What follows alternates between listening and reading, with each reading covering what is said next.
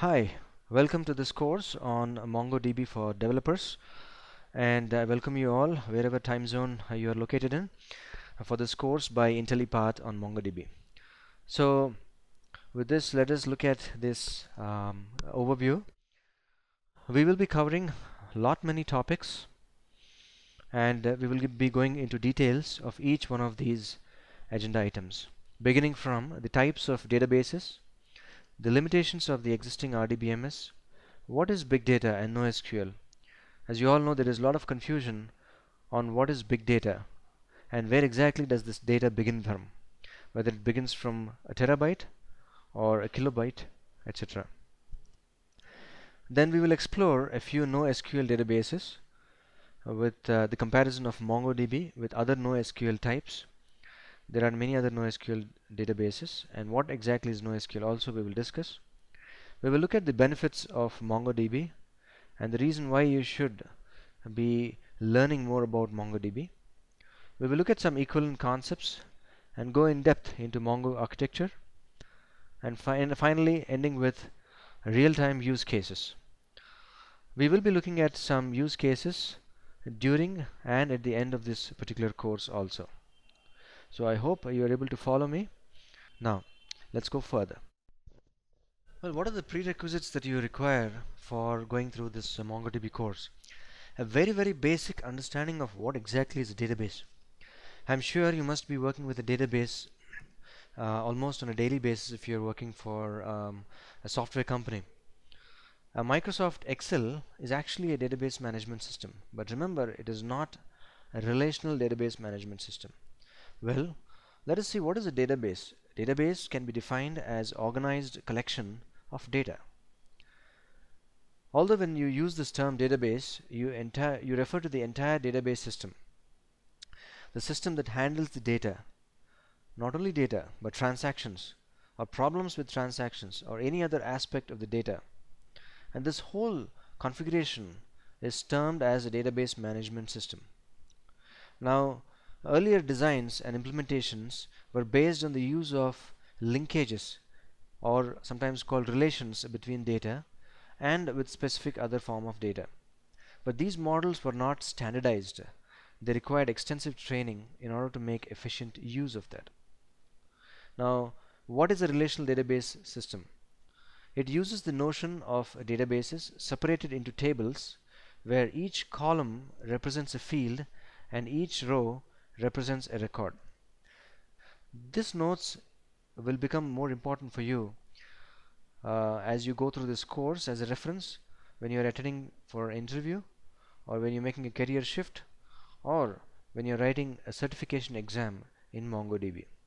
So a relational database uses the notion of databases that are separated into Say databases separated into tables where each column represents a field and each row represents a record. Okay?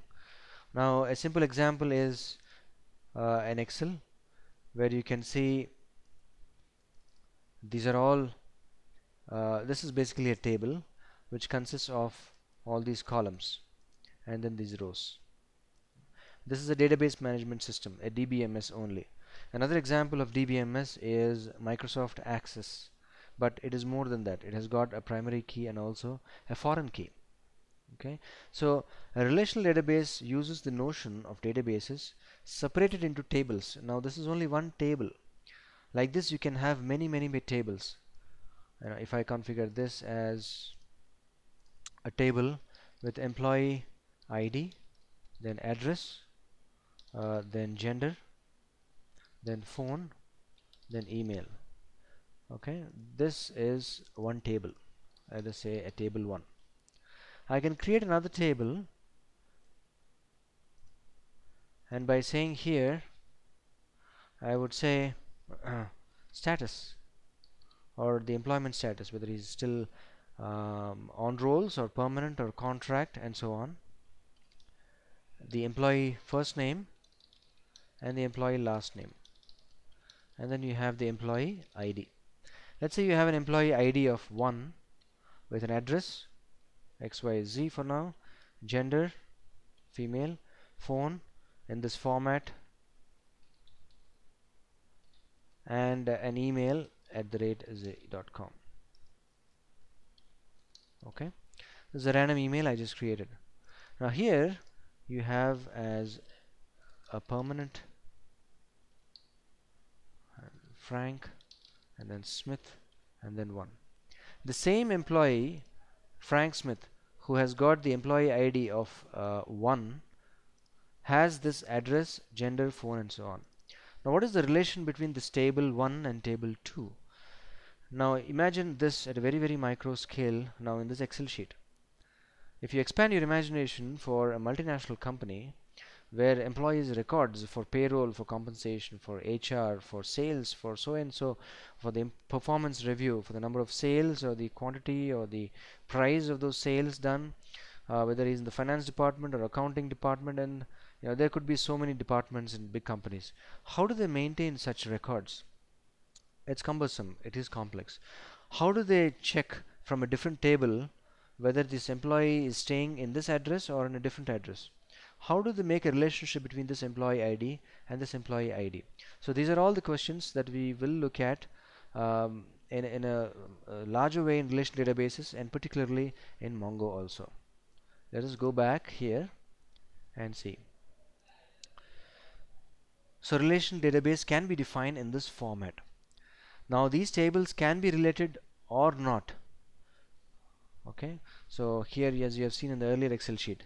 So tables can be related with each other with the use of something called foreign keys. Foreign keys are also called as common columns. In that case the employee ID was the common column.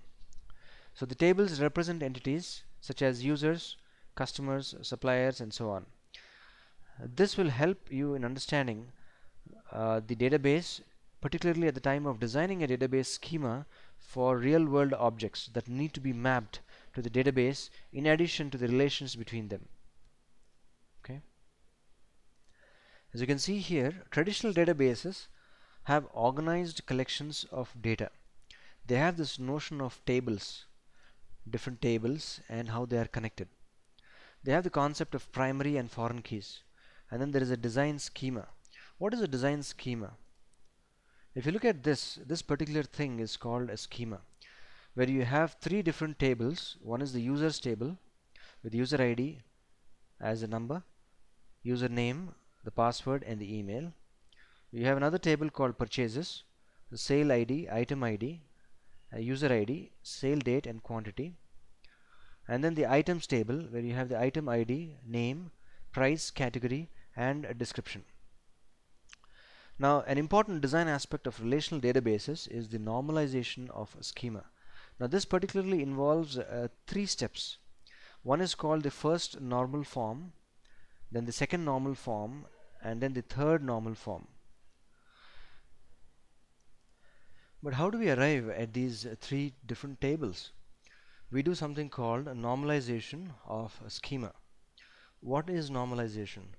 Normalization in plain English means making sense of the entire database. So it is the process of organizing the columns and tables of a relational database to minimize the data redundancy so that we don't repeat uh, the data in many many many tables and how do we normalize this particular um, structure of um, of let's say an invoice an invoice as you know has uh, usually an order ID it has item ID so in the same order ID or the form you can have item ID 1 2 3 4 and so on.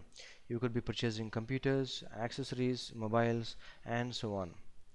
Now when you have such invoices in large quantities how do you represent those in the actual database in an RDBMS so these are the three key steps that are followed and the first one is the first normal form which means there should not be any repeating elements or groups of elements.